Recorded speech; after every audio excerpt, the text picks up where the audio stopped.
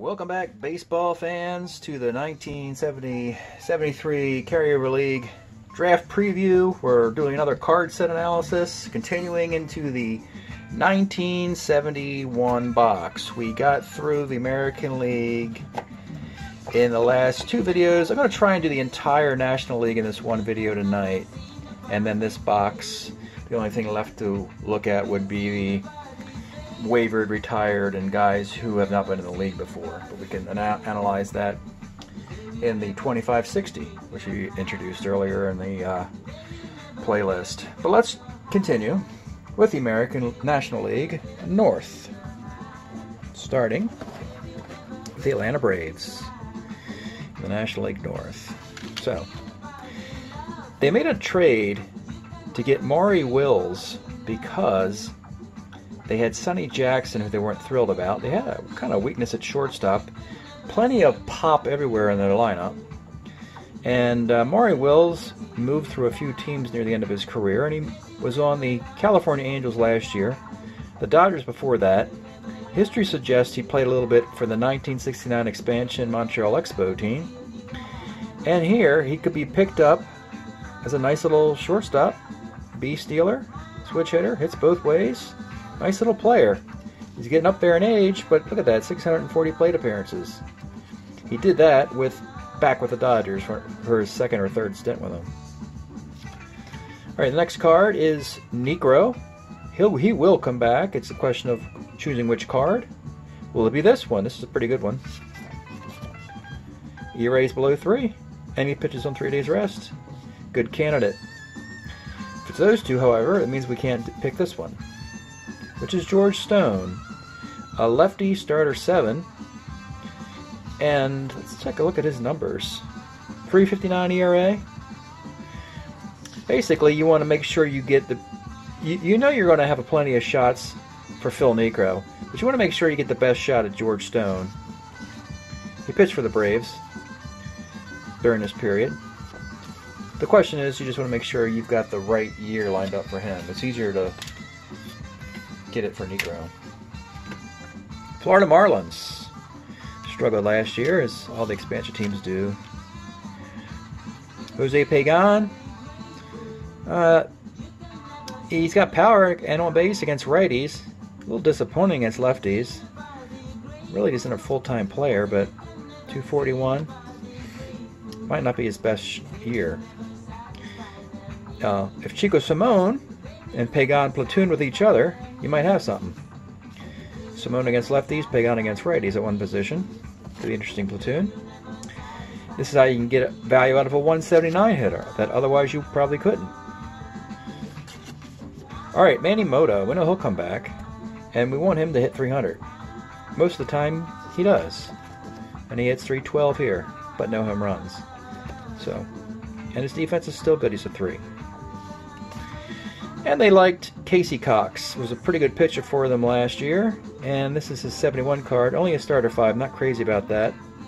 Where I'd more be likely to have him in the bullpen. He's pretty good against righties a 3.99 ERA. 124 innings. I don't like starter fives, so I prefer starter six and higher. That is your Florida. All right, here's your world champion New York Mets. Looking to see what they do from 71. I can tell you one guy I know it's going to be from 71. And he's right on top. Cleon Jones. So, with the five guys they had to protect, they decided they had, they had to choose between Cleon Jones and Tommie Agee Unfortunately, they picked Jones. And they picked it for this card. His card is pretty close to the card he had in 1969 when he hit 340. Here he's only hitting 319. But when you factor in the walks, that's a pretty darn good card right there. I can go to the All Star game if it, everything goes right. Plenty of power and on base both ways. So this Cleon Jones will get into the league, I can guarantee that. Jerry Grote, a hero of Game 4 of the World Series. This is mostly going to be about arm. Minus 3 or better is what we're looking for during this era. We're willing to sacrifice the bat, so I'll have to figure out what we computed his arm to be. 270. Much higher than the last two years. So it could be Cleon and Grote. But if you did that, let's say you did Cleon and Grote, you couldn't take this brilliant Tom Seaver card.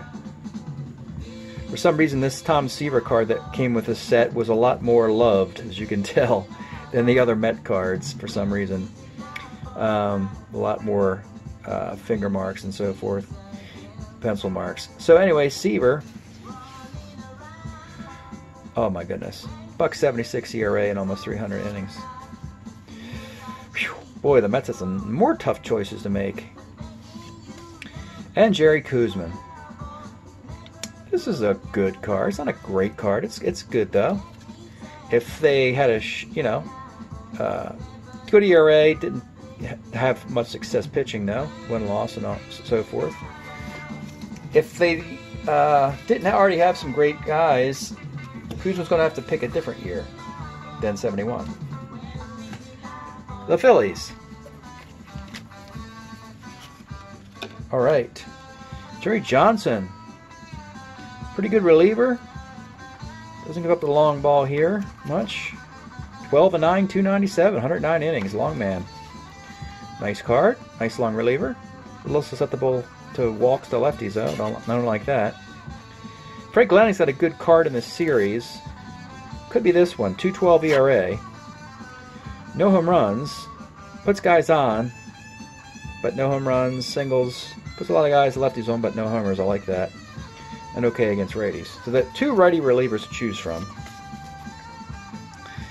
John Callison has, a, I think, one more good year. Might be 1970. He can still play defense, but his stick is starting to wane a little bit here. And Grant Jackson eventually moves to the bullpen. Here he's an Oriole with 312 ERA, kind of in that transition period between starter and relief. He's pretty good, actually. So, I frankly like uh, Grant Jackson more than those two righties in the bullpen. That's your National League East. Let's get into the National League North. Starting with the Cubs. Reds, Pirates, and Cards. Your Chicago Cubs. Santo, he's not a one a, at third anymore, but he's got everything else you want out of a third baseman. Full time guy, plenty of power and on base. Magnificent year. Well, very good year. 21 bombs out of your third baseman. Definitely keeper eligible. We'll see how that works out. Great year out of Fergie, starter 9. 277, 24 game winner. Two great cards right there. Del Unser, still good defense. More, mostly a one-way player though, as you see against lefties, it's kind of meh. But against righties, is pretty good if you're looking for a one-way player. Full season, maybe you, if you play him half a season, the batting average will improve. Only three guys for the Cubs to consider. All right, the Big Red Machine. They've been disappointing in the last couple years, unfortunately for the Reds. It's time to make a move in the postseason. All right, Rose. It's not going to be this card, I can tell you right away, because he's the MVP of 1973. And a 304 average is great, but not great enough for the Hall of Famer. Oh, excuse me. You know what I mean. Um, yeah, that's a great card, but there is going to be a better one. Lee May. Wow. He probably doesn't hit 38 home runs. 39, actually. 278. Actually, yeah, this is better than 70. 70 and 71 Lee May are both magnificent. I'd probably go with this one. If you're not going to go with Rose, then go with May. All right, here's a guy they traded for in the offseason, Dick Bosman. Is it for this card? I don't think it's for this card. This is a good one. But in 70, his ERA is 3 on uh, 200 innings. A little bit better. So they're going to go with 70 Bosman. This is definitely a, a good runner up. Wayne Granger, doing Wayne Granger things here. Always known as a righty gets righties out. Decent reliever.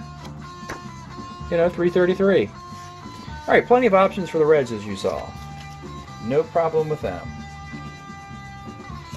Pirates. Pittsburgh Pirates. Now, we know they win the World Series this year in 71. And frankly, they had a dismal season last year. So they want to show the world that last year was an aberration. Bob Moose, don't like this one. We know we have better Bob Mooses coming. Yeah, that's okay, but not good enough.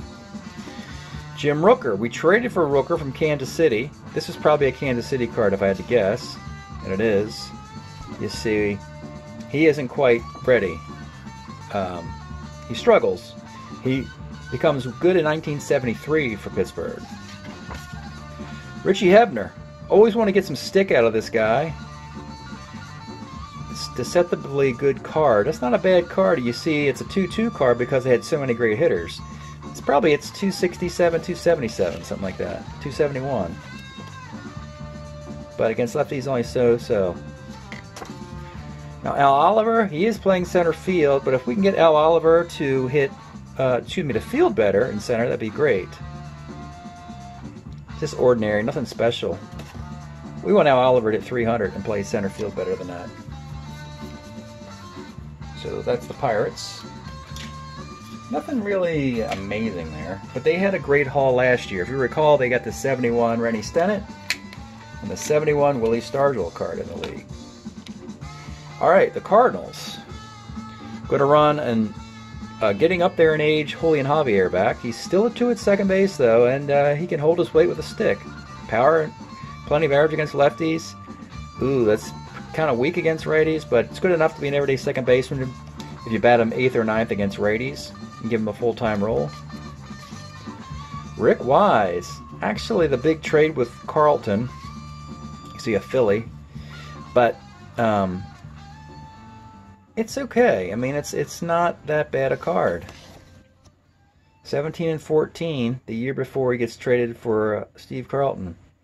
So, you might as well use it because we know it won't be quite as good in 72. Lou Brock. Fine card. Double A stealer. Defense. Oh, like the walks. Normally he's doesn't draw a lot of walks, but here he does. That's a nice looking card for a leadoff hitter. 313, oh yeah. And 716 plate appearances. Oh, single 1 to 19 on 10. Yeah, you want this card. Boy, yeah, that'll do some damage to the top of the lineup there. Great Lou Brock card. With him in 71 and Joe Torre in 71, look out for the Cardinals. I know they didn't, they had to, you know, play in the same division with the Pirates. Chuck Taylor, you don't want this one. He's vulnerable against lefties, and he's not dominant against righties. So, now to that. All right, we've been through two boxes. Let me take a quick break, and I'll be right back. All right, we move into the Mountain Division, the division that is always up and down every year. You never know what to expect because it's hard to carry players year to year when they don't exist and they're looking to get castaways from other organizations, extra player cards that draft appearance, players with limited playing time. Colorado won this division two years ago. Las Vegas won it last year. Is it Arizona's time? Let's take a look what we got here. Popovich. Oh, good glove. As a switch hitter, he brings plenty of power. Look at that against lefties, which is odd for this player but I'll play the bulk of the time against righties, and the bat's not very good. So hopefully, probably a 243 hitter. 217 because of the percentages, right? 71%, yeah. Well, the left side makes up for it. I don't know how many good cards this player has anymore, but this would be a, a good one for this player. He's not a star, obviously, but workable. Chuck Dobson. He's got a couple more years I think in 70 he pitches on three days rest. Nice win loss. Did it for the A's. A's don't get him. Nice card. All right, here was a guy they traded for, Ken Tatum. I mentioned that he had three straight All Star appearances for the Angels, and they were able to trade him because the performance starts to fall off a little bit. 417. His ERA was below two, three years in a row, and uh, not anymore. Darold Knowles. Strong card. He always has strong cards in this era. 357, though it's pitches very well, plays very well with this card. Yeah, I like it. That's that's solid right there. Nothing really flashy, unfortunately, out of Arizona. Hopefully, if they want to win this division, they find some stud players in the other years. All right, the Rockies, disappointing last year after the year before when they were magnificent. Ron Reed, he's like a lifetime Colorado Rocky. This is the era where he was a starting pitcher and kind of middling. He was actually more successful as a reliever later in his career with the Phillies and the White Sox. Here he pitches on three days rest. That's fine. You know, it, it's Colorado. They don't. You're not expecting them to get Cy Young performances out of their rotation. You know, pitching in the uh, altitude. You get the idea. So uh, yeah, that's fine for Ron Reed if we pick that one. Rick Monday has better years than this. I know that looks good, but that doesn't look good, and we need him to be an everyday player, and you don't want that vulnerability there. He's got better years than that. All right, Drago. He does very well at the, uh, the beginning of the, of the, 1970s in the rotation. Later in the decade, he goes uh, into the be a setup guy in the bullpen. Does very well there as well. That's some great numbers. So Drago outpitches Ron Reed in this comparison. Monday you don't like, which leaves us Kosco. We know we want 1973 Kosco. He always crushes homers against lefties, but he does it a lot more in 1973 against lefties and righties. That's the card we want for Andy Kosco, or at least that's why we made the trade with the uh, Yankees to acquire him.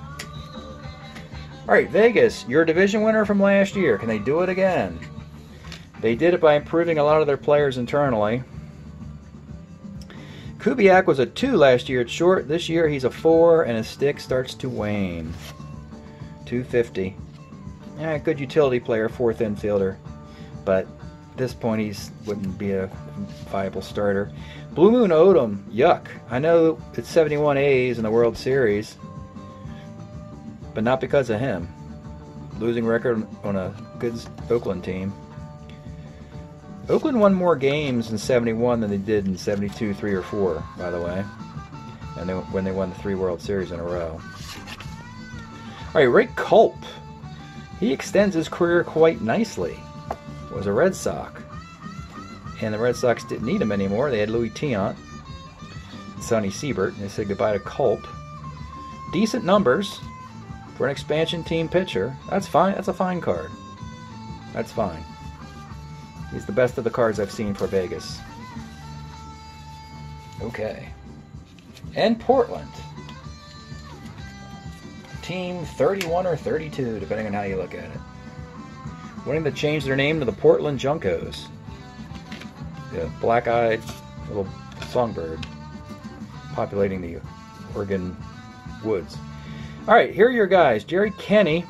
Now, you don't play center field anymore, which stinks. That's a nice stick, though, for Kenney.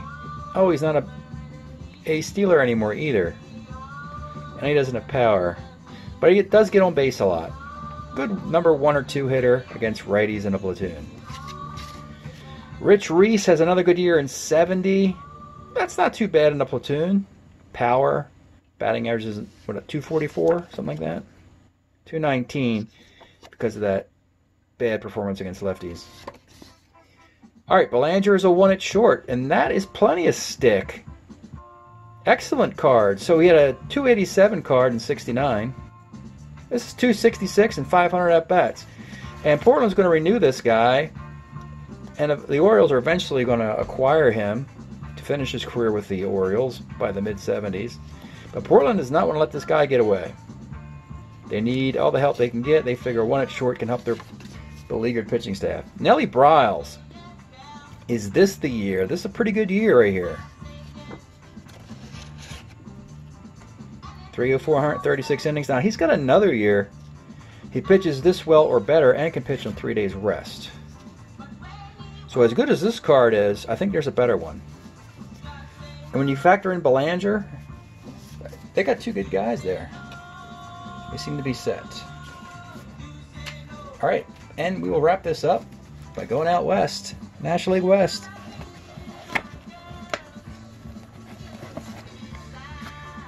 Starting with the Astros. We talked about how they're going to hold on to Joe Morgan as long as they possibly can. So that trade's not happening yet. Uh, they acquired Merritt in the offseason when he was left uh, unclaimed, and this is not a very good card. No. Toy Cannon, he's got a good 70. He still has on base, but not much here either. And Dierker. Uh, he still got it. He'll pitch all the way through the mid 70s. He doesn't do it on three days rest anymore, but he pitches well. That's disappointing, but the ERA is fantastic. And Denny Lemaster, I don't know how much tread this guy's got left.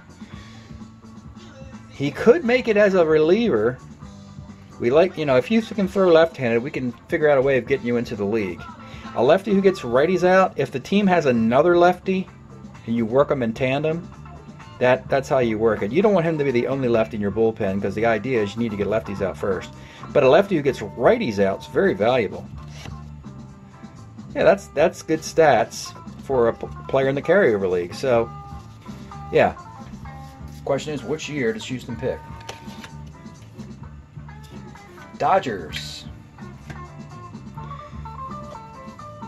Kind of get to the playoffs and they kind of putter out because they need some pop in their lineup. Need some more power. Willie Crawford acquired uh, in a trade, and uh, this is an okay card, but the 73 card is much better. 281. But see the power? It's just okay. They they gotta and they really don't start knocking the ball out of the park until the late 70s when they got Lopes and Garvey and Ron Cey and Reggie Smith and Dusty Baker. But until then, Crawford's going to have to have, pick up the slack in a different year. Messersmith's card's finally up. He'll continue with another great card. Outstanding. Another 20 game winner. Great card for Messersmith. He has a bunch of great cards, though. Now, Tommy John, he'll at least have an average card throughout this four year period when he's not suffering from Tommy John surgery. Um,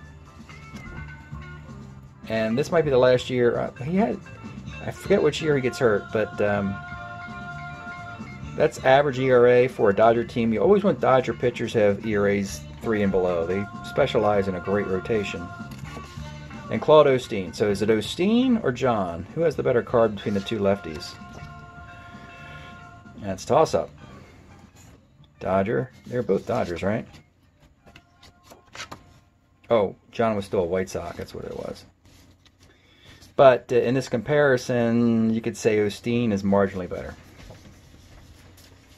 All right. Some sand time. Let's start with San Diego. Padres. Always a fun team to have some fun with their roster and get some guys. Joe Gibbon.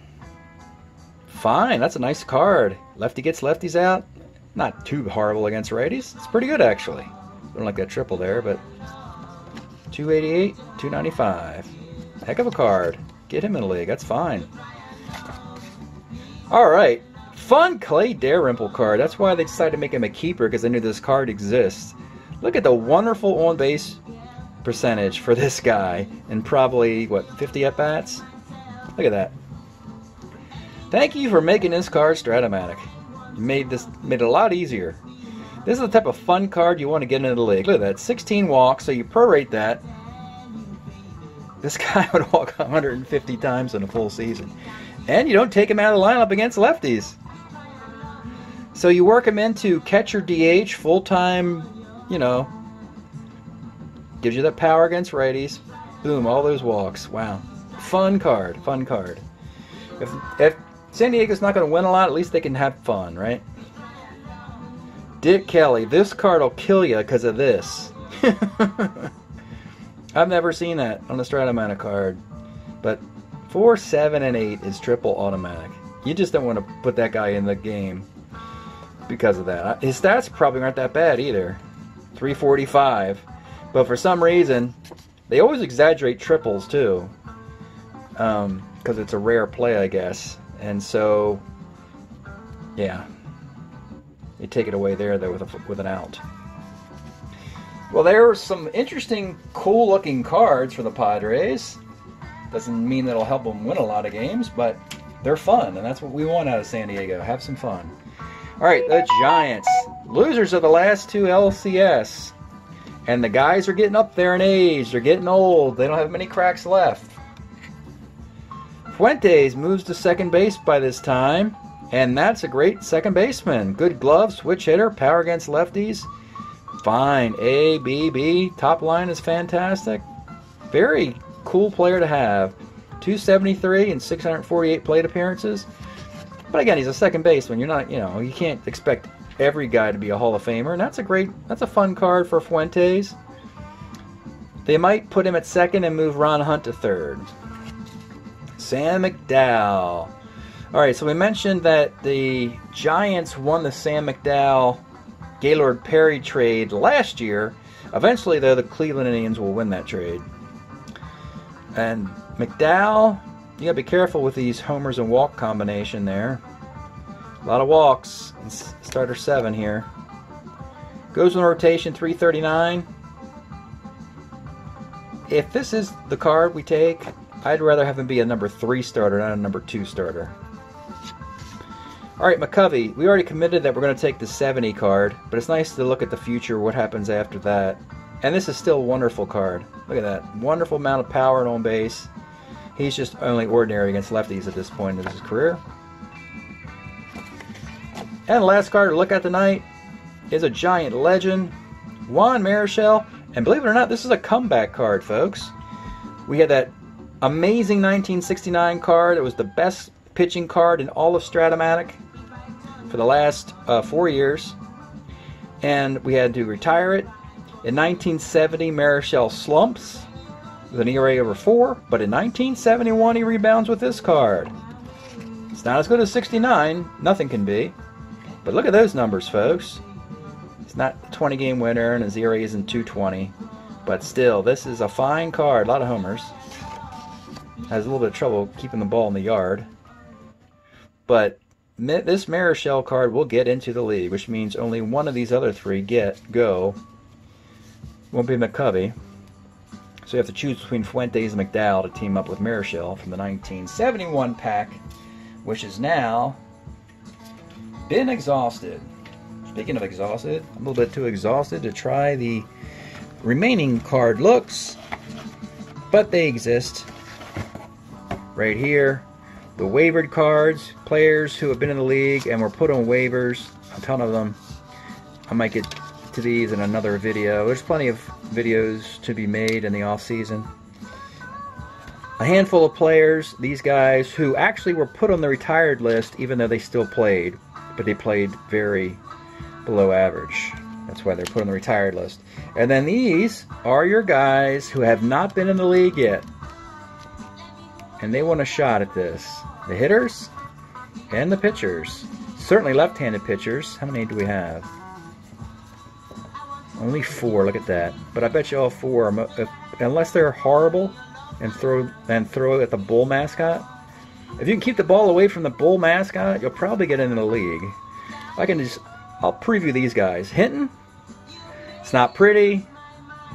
And again, if these guys have better years otherwise, they'll be taken. But as a guy who can throw with his left arm it's not that hard to get into my league. Even this guy, he was in the league once two years ago. Oh my goodness, the on base and homer combo. Ken Reynolds? Oh boy. And Laxton. Oh boy. Let. Oh jeez. Well, I don't know about my remark here. It might be harder than I thought to get this lefties into the league. But uh, yeah, there's always a shortage of lefties in this era. And so that's it tonight for the 1971 box. And we're halfway through looking at the boxes for the 70 73 Carrier League. When we get together, we'll start, get back to that 1972 box. First edition, uh, very rare set. Very unique set. Thanks for checking out the videos. We'll see you next time.